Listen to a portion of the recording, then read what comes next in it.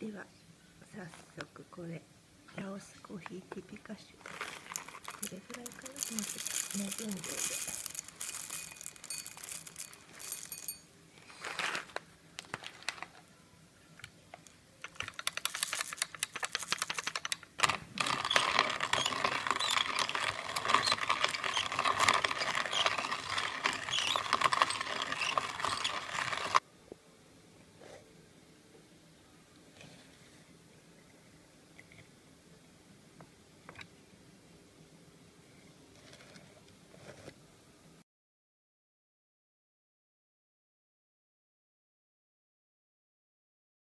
もう分量でそうか、37ぐらいなんだね。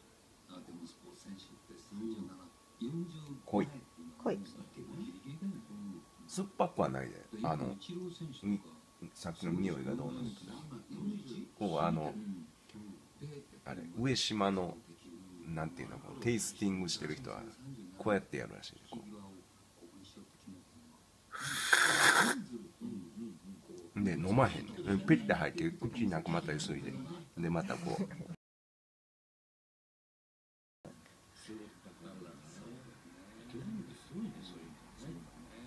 いやああやってやんねんで。加減か